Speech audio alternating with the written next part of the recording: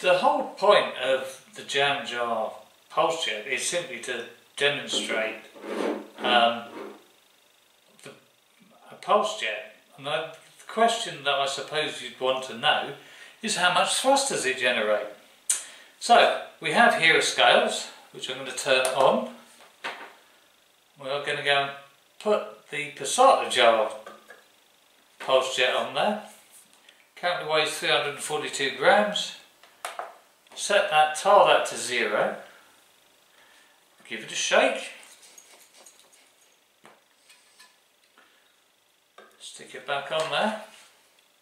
Let's see how much thrust we get.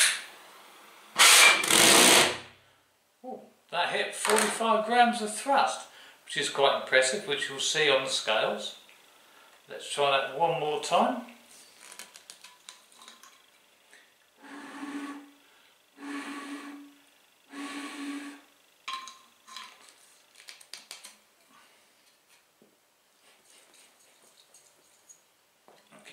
Shake.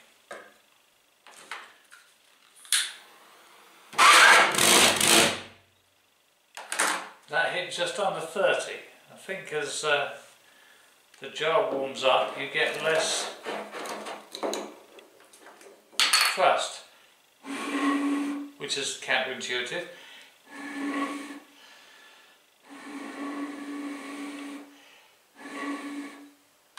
Try that one more time.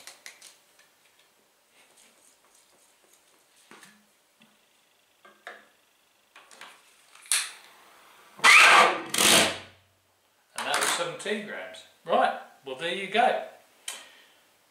Thank you for watching. Please like, share and subscribe.